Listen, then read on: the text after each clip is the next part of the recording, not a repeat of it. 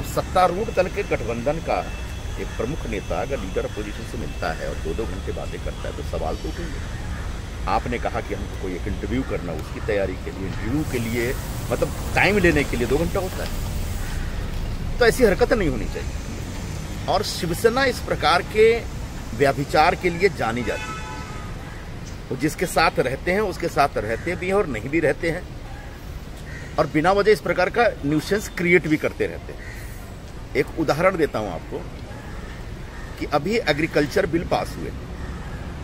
Congress party ने agriculture विधेयकों और जो कानून बन गया अभी उसके खिलाफ एक जोरदार अभियान चला रखा है। तब शिवसेना उस विधेयक के समर्थन में लोकसभा में खड़ी होती है और राज्यसभा में ठीक जब वोटिंग का झगड़ा शुरू हो रहा था, तब बहिष्कार करके निकल जाती है। महाराष्ट्र में कांग्रेस और राष्ट्रवादी कांग्रेस के जो लोग सरकार में हैं उनकी तरफ़ से घोषणा आती है कि हम ये कानून लागू नहीं करेंगे।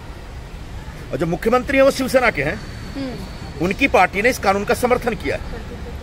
तो अब ये बताइए कि ये ऐसी परिस्थिति में किसानों के मन में एक संभ्रम है कि नहीं? और शिवसेना इस प्रकार का संभ्रम निर्माण करने के लिए जानी जाती है।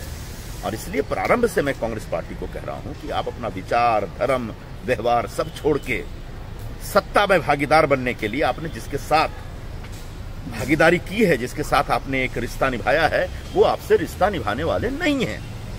और इसलिए कभी भी आपको धोखा दे सकते हैं ये मेरा कहने का आशय है। शुक्रिया। कल देवेंद्र फडणवीस संबंध से मुलाकात हुई किस बात को लेकर मुलाकात हुई है सर देखिए देवेंद्र फडणवीस जी महाराष्ट्र के पूर्व मुख्यमंत्री है। पाँच साल तक देवेंद्र जी ने महाराष्ट्र में मुख्यमंत्री पद संभाला है। हम उनके साथ काम भी कर चुके हैं। फ़िलहाल देवेंद्र जी महाराष्ट्र के लीडर ऑफ़ अपोजिशन है। बीजेपी के वरिष्ठ नेता है। अब बिहार के इंचार्ज बन गए। बहुत दिनों से मीरा और उनकी मुलाकात तय हो गई थी। दूसरे कारणों से।